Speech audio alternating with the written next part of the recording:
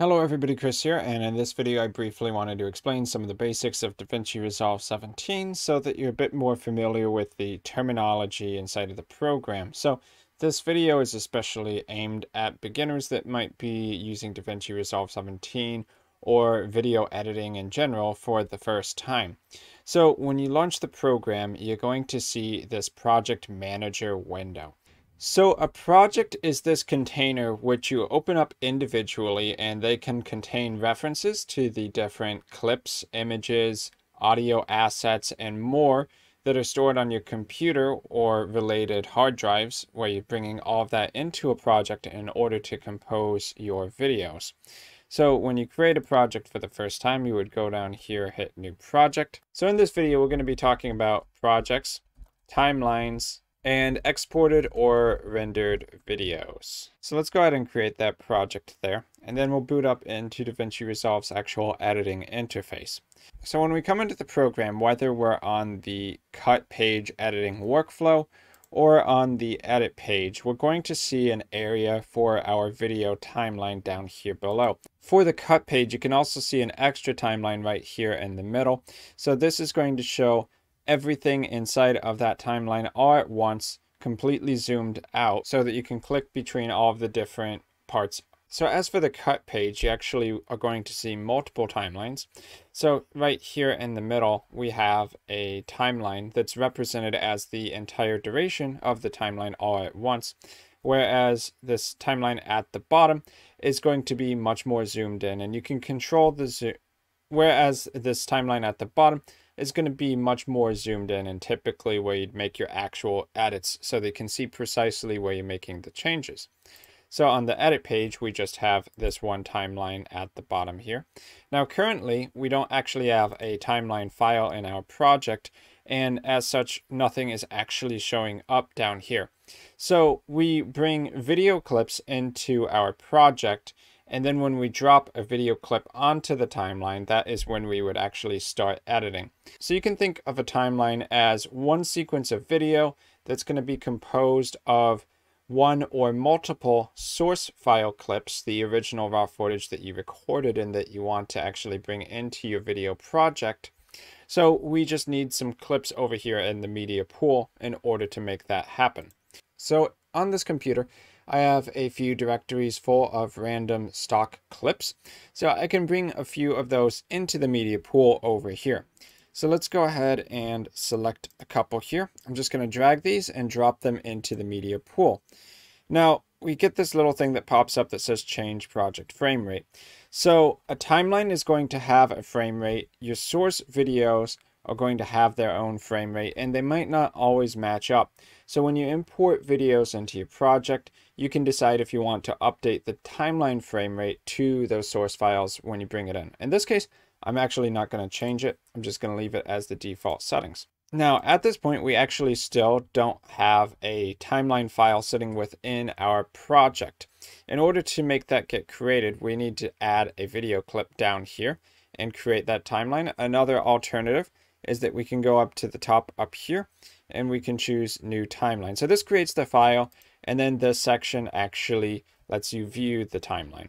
So this button, so, so this option creating the new timeline creates the file. And then down here in these timeline sections, you'd actually be able to view the contents.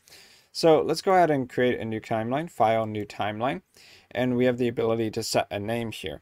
So note that you can actually have multiple timelines inside of your project. So that's one big difference between your project and your timeline. When you open up a project, you're opening up one thing, but inside of that thing can be composed multiple timelines. And when you actually export a video, you're exporting from one timeline. So a project can have multiple timelines, which means you can have multiple videos that you actually want to export. in. in fact, you can actually export the same timeline into multiple videos as well by breaking it into chunks that you export individually. So let's just go ahead and I'll just leave the name as timeline one. That's totally fine. So we get these video tracks and audio tracks down here. Inside of your timeline, you can have multiple video tracks and multiple audio tracks. If you want to add more at any time, you can just right click and do add track. And then, well, in that case, because I clicked in the video section, it gave us a video track. But if we click down here, right click and uh, add track, we can add a stereo audio track, which means that there's going to be both a left and right audio channel. So when we actually want content inside of our project, we can drag a source clip onto this timeline. So now that we have this referenced inside of this timeline, if we save the project, reopen it, or we switch to a different timeline and come back, we should see the files here in exactly the way we had it in our latest edits. So as I mentioned, you can have multiple timelines inside of one project. And one way you can switch between them actually is to click here to the timeline view options and you click this section up here, stacked timelines. So when you do that, you can see each of your timelines listed over here as different tabs that you can go between. So if you want to change what one of these tabs is viewing, you can click here and select your timeline and you can add a new tab over here. Um, now you actually have to have a new timeline in order to select it. So let's go up to file and then new timeline once again. I'll just create the timeline and you can see it automatically selected timeline 2 here. Each timeline can only be represented once inside of these tabs.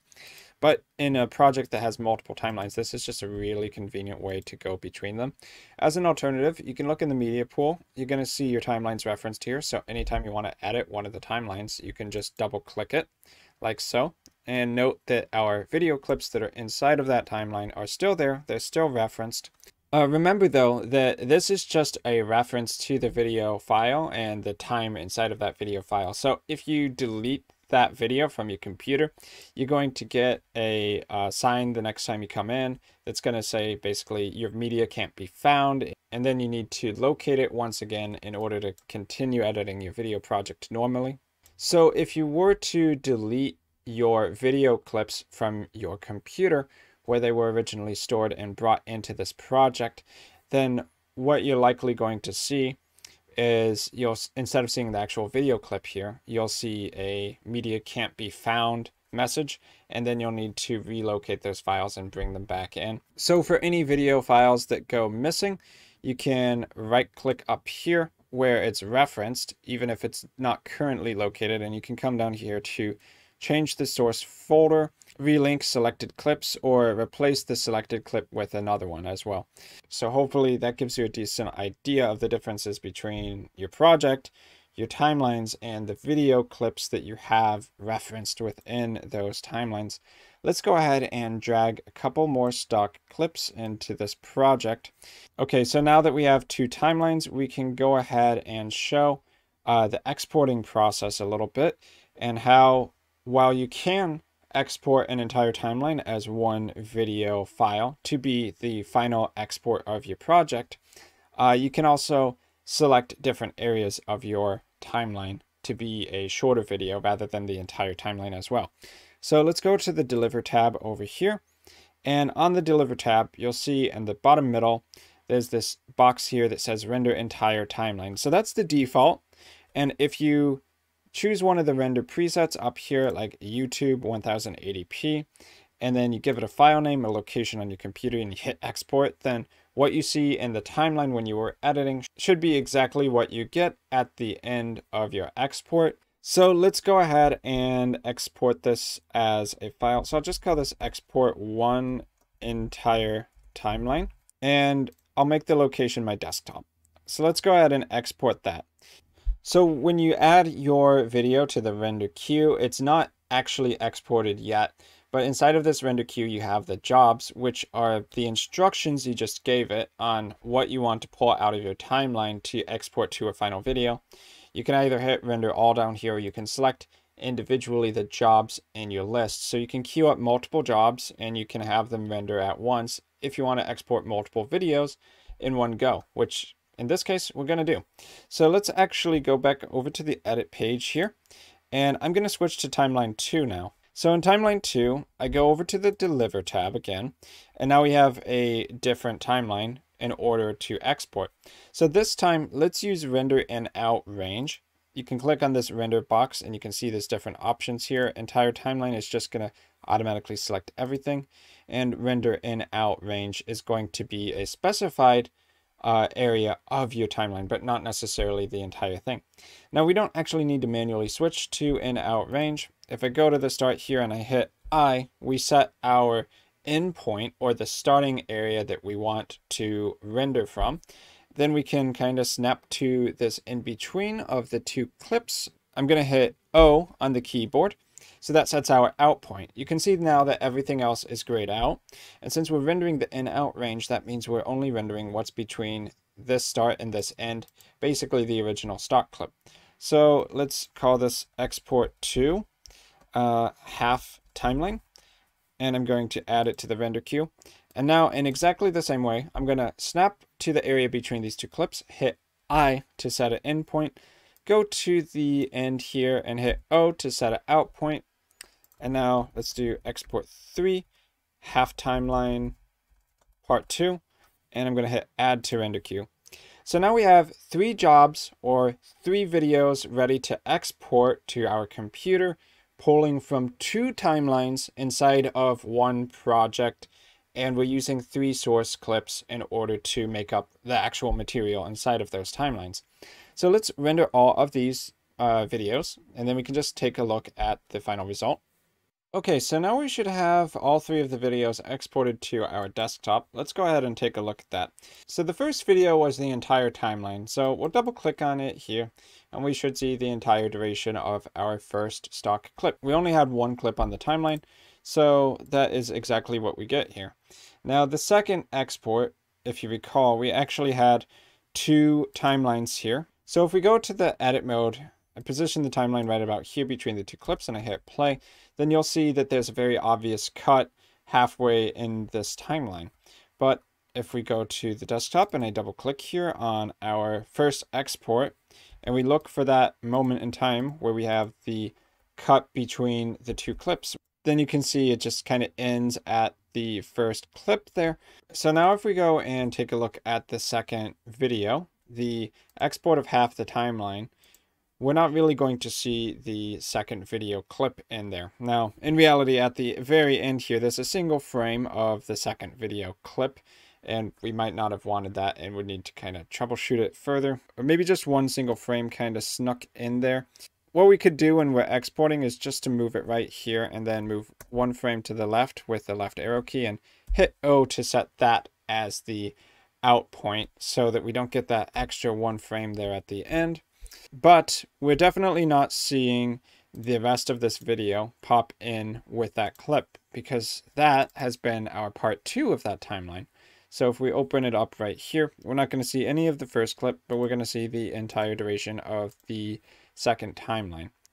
So we can see that when we are exporting videos from our project, generally speaking, we would export an entire timeline but you can also break one timeline into multiple jobs using in-out points, I and O on the keyboard with these in-out ranges. And you can have multiple timelines within your project. So you might export an entire timeline twice, but you have two timelines, so that would produce two videos from the same project. So a project just kind of contains everything. You can put an unlimited number of timelines, video clips, audio clips, images inside of all of that.